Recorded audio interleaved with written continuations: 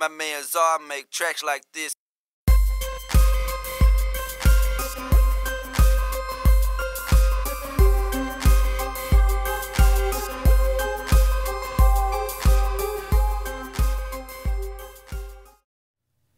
What's going on, y'all? I want to give you a quick tip on how to move your sections of your song around using the arranger section in Studio One Three.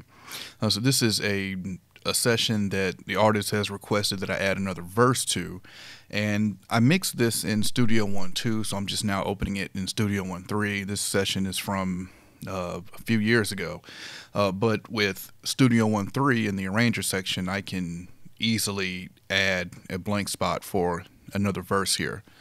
So the way the song is constructed now, uh, we've got a hook, verse, hook, verse, and one last hook on the end. So we're going to be adding a verse and a hook. So I've got it. Uh, as always, I use markers in my session to quickly get around and organize things.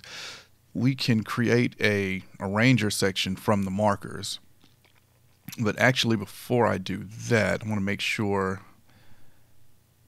just make sure that these markers are on the grid because sometimes, know, like that one could be a little over here.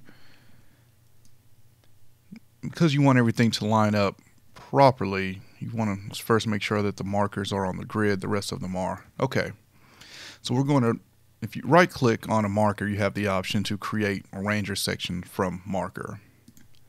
So we've got that, and now we've got our arranger sections. So now it's as simple as me, let's see, how do we want to do this? Let's take, let's take the second chorus and the second verse, and we'll just hold option and copy that after the second verse. And you see it has added uh, more to the song.